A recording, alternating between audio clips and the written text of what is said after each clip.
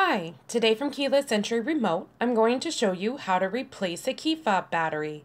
The key fob I'm showing you today is compatible with a 1998 through 2000 Plymouth Breeze. The part number on the back of this three button key fob is KYPT03C98JA. To open this key fob, all you'll need is a screwdriver.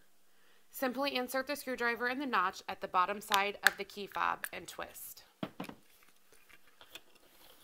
Once you have the key fob open, you'll need to carefully remove the electrical panel.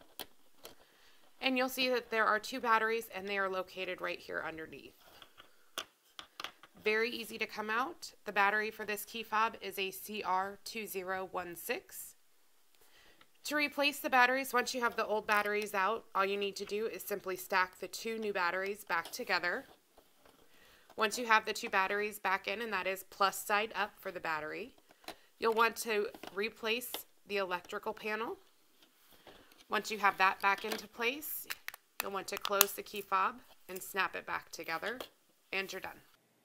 If you need to order a replacement battery or an actual key fob remote, Click on the link in the description below or visit our website at keylessentryremotefob.com or call us at 402 671 5100. Again, you can click on the link in the description below or you can visit our website at keylessentryremotefob.com or call us at 402 671 5100.